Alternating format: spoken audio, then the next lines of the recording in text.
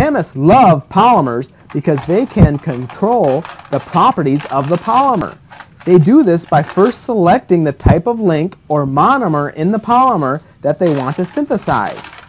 They also modify the polymer's properties by controlling the degree of cross-linking that occurs within the polymer. Cross-linking?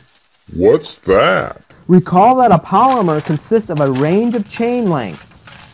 If you place several chains together in a bucket, the chains get intertwined and mixed around. This is just what happens to polymers. A polymer with no cross-linking is just like this bucket of individual chains. However, a polymer with cross-linking has its individual chains or polymer molecules permanently linked together. This is called cross-linking. Cross-linking greatly strengthens the rigidity of the polymer.